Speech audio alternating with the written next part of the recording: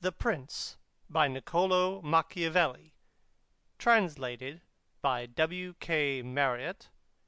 Chapters XXIII, XXIV, XXV, XXVI CHAPTER XXIII HOW FLATTERERS SHOULD BE AVOIDED. I do not wish to leave out an important branch of this subject, for it is a danger from which princes are with difficulty preserved, unless they are very careful and discriminating. It is that of flatterers, of whom courts are full, because men are so self complacent in their own affairs, and in a way so deceived in them, that they are preserved with difficulty from this pest; and if they wish to defend themselves, they run the danger of falling into contempt, because there is no other way of guarding oneself from flatterers, except letting men understand that to tell you the truth does not offend you; but when every one may tell you the truth, respect for you abates. Therefore a wise prince ought to hold a third course, by choosing the wise men in his state, and giving to them only the liberty of speaking the truth to him, and then only of the things of which he inquires, and of none others. But he ought to question them upon everything, and listen to their opinions, and afterwards form his own conclusions. With these counsellors, separately and collectively, he ought to carry himself in such a way that each of them should know that, the more freely he shall speak, the more he shall be preferred. Outside of these he should listen to no one, pursue the thing resolved on, and be steadfast in his resolutions. He who does otherwise is either overthrown by flatterers, or is so often changed by varying opinions that he falls into contempt. I wish, on this subject, to adduce a modern example. Fra Luca, the man of affairs to Maximilian, the present emperor, speaking of his Majesty, said, he consulted with no one, yet never got his own way in anything. This arose because of his following a practice the opposite to the above. For the emperor is a secretive man; he does not communicate his designs to any one, nor does he receive opinions on them; but, as in carrying them into effect they become revealed and known, they are at once obstructed by those men whom he has around him, and he, being pliant, is diverted from them. Hence it follows that those things he does one day he undoes the next, and no one ever understands what he wishes or intends to do, and no one can rely on his resolutions. Maximilian I, born in 1459, died in 1519, Emperor of the Holy Roman Empire. He married, first, Mary, daughter of Charles the Bold; after her death, Bianca Sforza and thus became involved in Italian politics.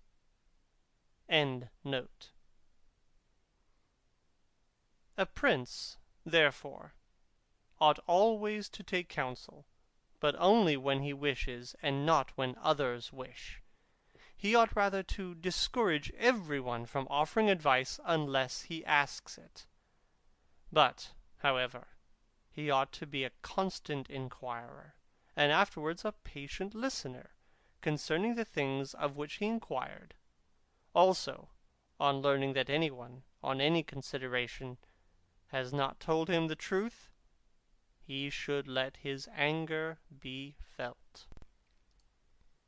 And if there are some who think that a prince who conveys an impression of his wisdom is not so through his own ability, but through the good advisers that he has around him, beyond doubt they are deceived, because this is an axiom which never fails, that a prince who is not wise himself will never take good advice, unless by chance he has yielded his affairs entirely to one person, who happens to be a very prudent man. In this case, indeed, he may be well governed, but it would not be for long, because such a governor would in a short time take away his state from him. But if a prince who is not inexperienced should take counsel from more than one, he will never get united counsels, nor will he know how to unite them. Each of the counsellors will think of his own interests, and the prince will not know how to control them or to see through them. And they are not to found otherwise, because men will always prove untrue to you, unless they are kept honest by constraint. Therefore it must be inferred that good counsels, whensoever they come, are born of the wisdom of the prince, and not the wisdom of the prince from good counsels. Chapter 24 Why the princes of Italy have lost their states. The previous suggestions, carefully observed, will enable a new prince to appear well established, and render him at once more secure and fixed in the state than if he had been long seated there. For the actions of a new prince are more narrowly observed than those of a hereditary one and when they are seen to be able to gain more men and bind far tighter than ancient blood, because men are more attracted by the present than the past, and when they find the present good, they enjoy it, and seek no further, they also make the most defence of a prince if he fails them not in other things. Thus it will be a double glory for him to have established a new principality, and adorned and strengthened it with good laws, good arms, good allies, and with a good example. So it will be a double disgrace to him who, born a prince, shall lose his state by want of wisdom. And if those seigneurs are considered who have lost their states in Italy in our times, such as the King of Naples, the Duke of Milan, and others, there will be found in them, firstly, one common defect in regard to arms, from the causes which have been discussed at length. In the next place, some one of them will be seen either to have had the people hostile, or, if he has had the people friendly, he has not known how to secure the nobles.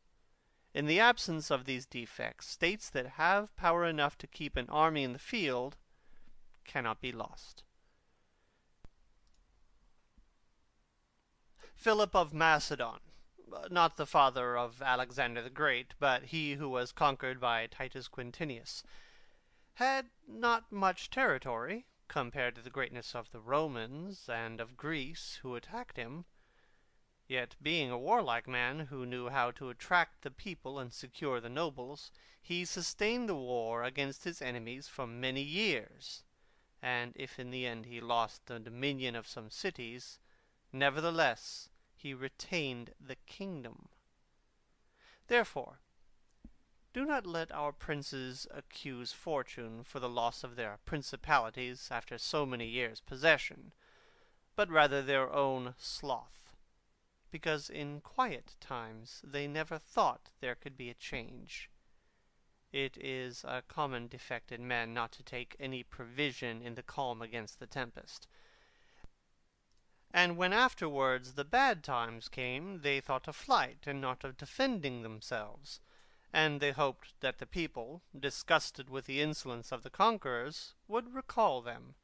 This course, when others fail, may be good. But it is very bad to have neglected all the other expedients for that, since you would never wish to fall because you trusted to be able to find some one later on to restore you. This again either does not happen, or if it does, it will not be for your security, because that deliverance is of no avail which does not depend upon yourself. those only are reliable, certain, and durable, that depend on yourself and your valour. CHAPTER 25 WHAT FORTUNE can effect in human affairs, and how to withstand her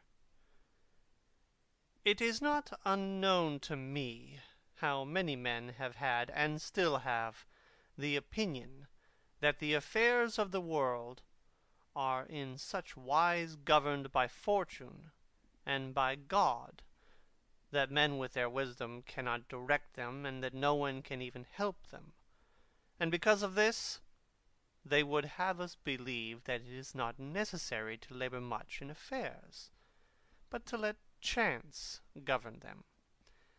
This opinion has been more credited in our times because of the great changes in affairs which have been seen and may still be seen every day beyond all human conjecture. Sometimes pondering this, I am in some degree inclined to their opinion; nevertheless, not to extinguish our free will, I hold it to be true that Fortune is the arbiter of one half of our actions, but that she still leaves us to direct the other half, or perhaps a little less. Begin note. Frederick the Great was accustomed to say, The older one gets, the more convinced one becomes that his Majesty King Chance does three quarters of the business of this miserable universe. From Sorel's Eastern Question. End note. I compare her uh, to one of those raging rivers, which, when in flood, overflows the plains, sweeping away trees and buildings, bearing away the soil from place to place; everything flies before it, all yield to its violence, without being able in any way to withstand it; and yet, though its nature be such, it does not follow therefore that men when the weather becomes fair, shall not make provision, both with defences and barriers, in such a manner that rising again, the waters may pass away by canal, and their force be neither so unrestrained nor so dangerous. So it happens with Fortune, who shows her power where valour has not prepared to resist her, and thither she turns her forces where she knows that barriers and defences have not been raised to constrain her. And if you will consider Italy, which is the seat of these changes, and which has been given to them their impulse, you will see it to be an open country without barriers and without any defence. For if it had been defended by proper valour, as are Germany, Spain, and France, Either this invasion would not have made that great changes it has made, or it would not have come at all. And this I consider enough to say concerning resistance to fortune in general. But uh, confining myself more to the particular, I say that a prince may be seen happy to day and ruined to morrow, without having shown any change of disposition or character. This, I believe, arises firstly from causes that have already been discussed at length, namely, that the prince who relies entirely on fortune is lost when it changes. I believe also that he will succeed who directs his actions according to the spirit of the times, and that he whose actions do not accord with the times will not be successful, because men are seen in affairs that lead to the end which every man has before him, namely glory and riches, to get there by various methods, one with caution, another with haste; one with force, another by skill; one by patience, another by its opposite; and each one succeeds in reaching the goal by a different method. One can also see of two cautious men, the one attain his end, the other fail. And similarly two men of different observances are also equally successful, the one being cautious, the other impetuous. All this arises from nothing else than whether or not they conform in their methods to the spirit of the times. This follows from what I have said. that two men working differently bring about the same effect, and of two working similarly, one attains his object and the other does not. Changes in a state also issue from this. For if, to one who governs himself with caution and patience, time and affairs converge in such a way that his administration is successful, his fortune is made. But if time and affairs change, he is ruined if he does not change his course of action. But a man is not often found sufficiently circumspect to know how to accommodate himself to the change, both because he cannot deviate from what nature inclines him to do, but also because, having always prospered by acting in one way, he cannot be persuaded that it is well to leave it, and therefore the cautious man, when it is time to turn adventurous, does not know how to do it. Hence he is ruined. But had he changed his conduct with the times, fortune would not have changed. Pope Julius II went to work impetuously in all his affairs, and found times and circumstances conformed so well to that line of action that he always met with success. Consider his first enterprise against Bologna. Messer Giovanni Bentivogli being still alive, the Venetians were not agreeable to it, nor was the King of Spain, and he had the enterprise still under his discussion with the King of France. Nevertheless, he personally entered upon the expedition with his accustomed boldness and energy, a move which made Spain and the Venetians stand irresolute and passive; the latter from fear, the former from desire to recover the kingdom of Naples; and, on the other hand, he drew after him the King of France, because that king, having observed the movement and desiring to make the Pope his friend, so as to humble the Venetians, found it impossible to refuse him. Therefore Julius, with his impetuous action, accomplished what no other pontiff with simple human wisdom could have done; for if he had waited in Rome until he could get away, with his plans arranged and everything fixed, as any other pontiff would have done, he would never have succeeded, because the King of France would have made a thousand excuses, and others would have raised a thousand fears. I will leave his other actions alone as they were all alike, and they all succeeded, for the shortness of his life did not let him experience the contrary; but if circumstances had arisen which required him to go cautiously, his ruin would have followed, because he would never have deviated from those ways to which nature inclined him. I conclude, therefore, that, fortune being changeful and mankind steadfast in their ways, so long as the two are in agreement man is successful, but unsuccessful when they fall out. For my part, I consider that it is better to be adventurous than cautious, because fortune is a woman, and if you wish to keep her under it is necessary to beat her and ill use her; and it is seen that she allows herself to be mastered by the adventurous rather than those who go to work more coldly. She is, therefore, always womanlike a lover of young men, because they are less cautious, more violent, and with more audacity command her. Chapter 26 An exhortation to liberate Italy from the barbarians.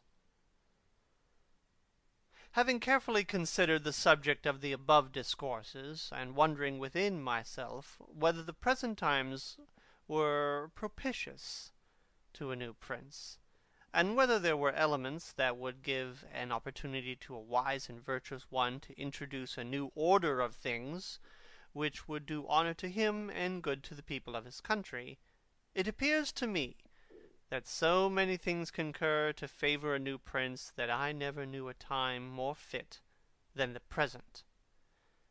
And if, as I have said, it was necessary that the people of Israel should be captives so as to make manifest the ability of Moses; that the Persians should be oppressed by Medes so as to discover the greatness of the soul of Cyrus; and that the Athenians should be dispersed to illustrate the capabilities of Theseus; then, at the present time, in order to discover the virtue of an Italian spirit, it is necessary that Italy should be reduced to the extremity that she is now in; that she should be more enslaved than the Hebrews, more oppressed than the Persians, more scattered than the Athenians, without head, without order, beaten, despoiled, torn, overrun, and to have endured every kind of desolation. Although lately some spark may have been shown by one, which made us think he was ordained by God for his redemption, nevertheless it was afterwards seen in the height of his career that fortune rejected him, so that Italy, left as without life, waits for him who shall yet heal her wounds, and put an end to the ravaging and the plundering of Lombardy, to the swindling and taxing of the kingdom and of Tuscany, and cleanse those sores that for long have festered it is seen how she entreats God to send some one who shall deliver her from these wrongs and barbarous insolences. It is seen also that she is ready and willing to follow a banner, if only some one will raise it. Nor is there to be seen at present one in whom she can place more hope than in your illustrious house with its valour and fortune, favoured by God and by the Church, of which it is now chief, and which could be made the head of this redemption. This will not be difficult, if you will recall to yourself the actions and lives of the men I have named. And although they were great and wonderful men, yet they were men, and each of them had no more opportunity than present offers for their enterprises were neither more just nor easier than this, nor was God more their friend than he is yours. Begin note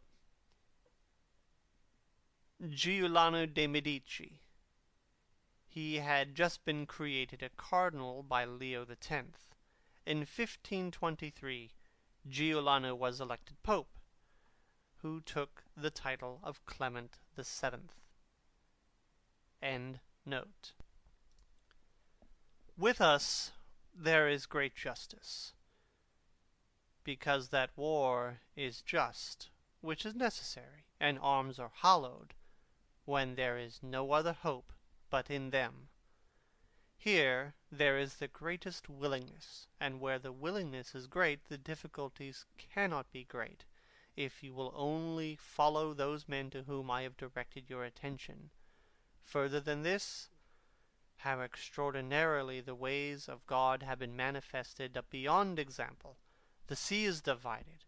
A cloud has led the way. The rock has poured forth water. It has rained manna. Everything has contributed to your greatness. You ought to do the rest. God is not willing to do everything and thus take away our free will and that share of glory which belongs to us.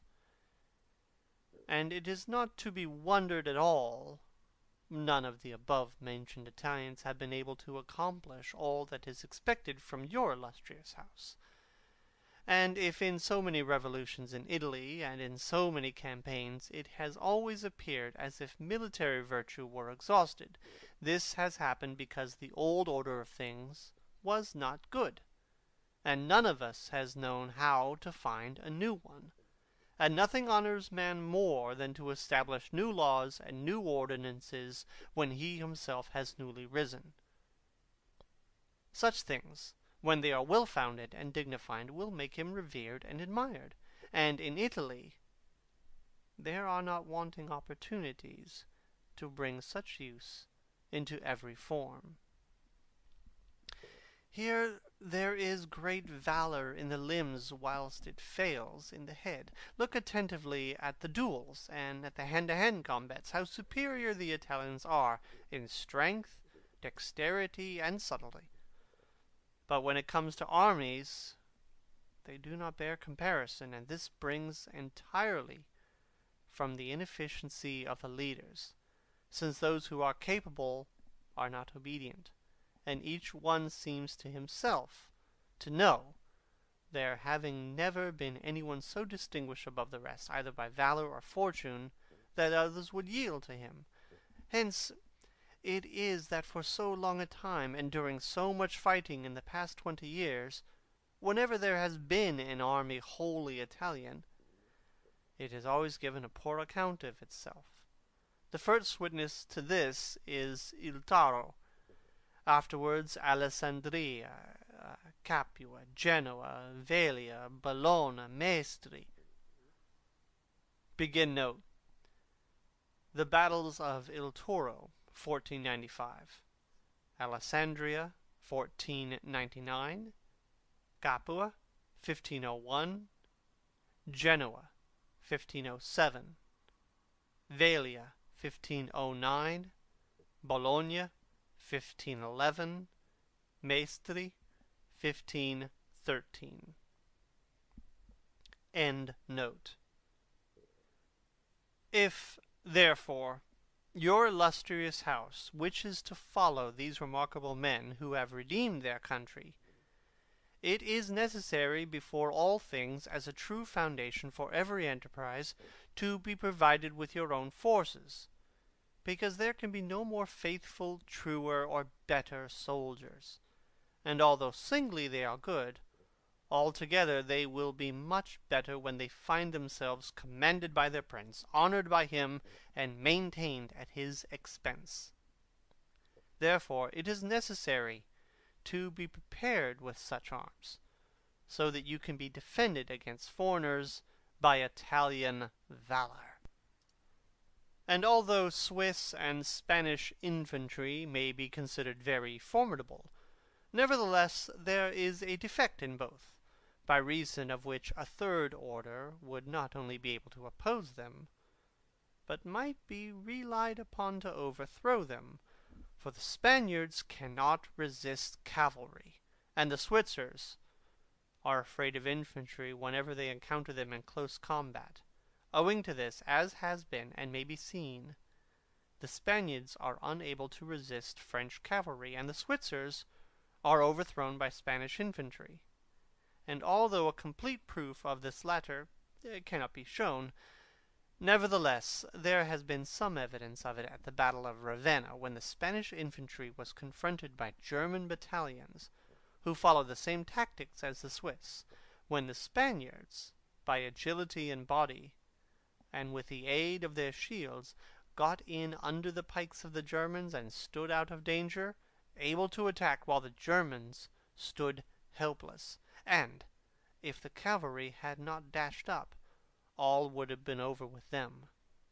It is possible, therefore, knowing the defects of these infantries, to invent a new one, which will resist cavalry and not be afraid of infantry. This need not create a new order of arms, but a variation upon the old. And these are the kind of improvements which confer reputation and power upon a new prince.